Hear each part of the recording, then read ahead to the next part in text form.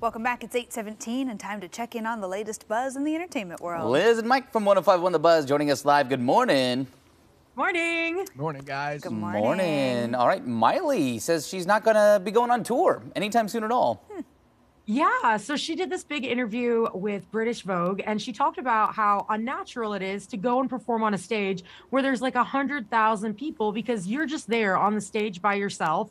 It feels very lonely and it just feels unsafe.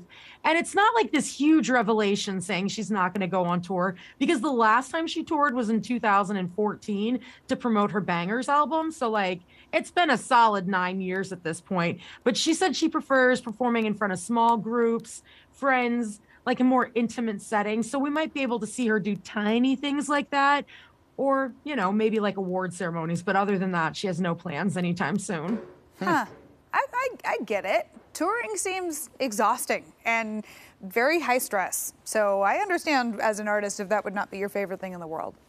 Well, that and they're always when they're on tour on the tour buses and traveling. I think about when I go on a road trip. If I stop at a gas station, I'm getting combos and M and M's every time. And if you're doing that every day, multiple times a day, Yeah. I can't even tell you how out of control I would be at that point.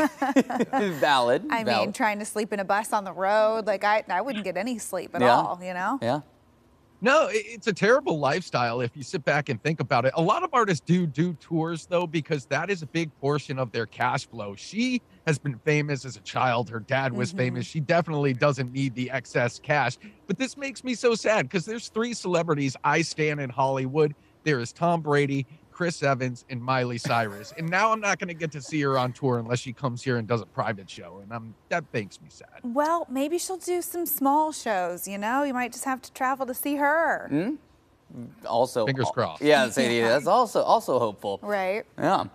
Okay, so live action, live action Little Mermaid is coming out uh, soon. I am very excited for this movie. Yeah.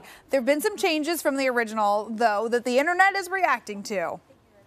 Uh, they're very frustrated because Scuttle is not a seagull. He is what is called a North Gannet, which is one of the largest seabirds that can actually dip into the water a little bit more than a seagull. And the internet's angry because they just want to make sure he still goes, whoa, wah." Which, as long as we keep that and kiss the girl, I don't think we really care. Because I couldn't tell he wasn't a seagull. I'm not a bird enthusiast. Apparently, if you look a little closer, you're like, oh, I guess it's not. But I mean, it's it's a bird. It's fine. Yeah, like it just, it, I, I don't know. That just doesn't seem like that big of a I deal. mean, none none of the little friends, because it's live action, like none of them really look like, you know, Sebastian just looks like a crab. I- he you know- doesn't quite have the Sebastian face. And Flounder, I haven't seen a look at Flounder's Flounder yet. Flounder looks Oh my gosh, like they made him skinny. They made him skinny. I'm more upset about a skinny flounder than I am the bird species changing to a Yeah, different flounder is not this cute little fish that you want to grab by the fins and kiss anymore. Like it's just Oh, not. it's like a like a scary fish he now. looks like an actual fish fish now, and it's a Oh, little disconcerting. Interesting. the actual flounder fish is a pretty narrow fish. They That's just true. made him more, you know, compliant with what the animal is. But I can't stand this move. Like, why change him from a seagull? First off, the gannet is not indigenous to the Caribbean at all. It is indigenous to Canada, South Africa, and I've done way too much research I on was about this to to say, care. Mike, you have Googled stuff before this today. Yeah. Why does Scuttle have to be a bird?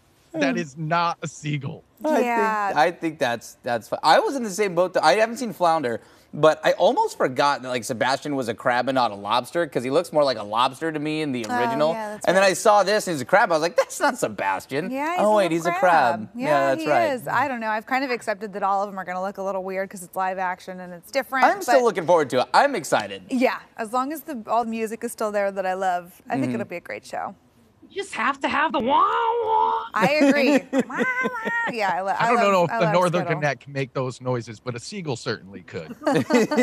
Time will tell. Find out in theaters this weekend. Uh-huh. If we need to dub it over, Liz, we know who to call. We'll be This is calling true. you.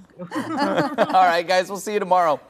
Bye, friends. care. Bye. And you can listen to Liz and Mike every weekday morning on 1051 The Buzz.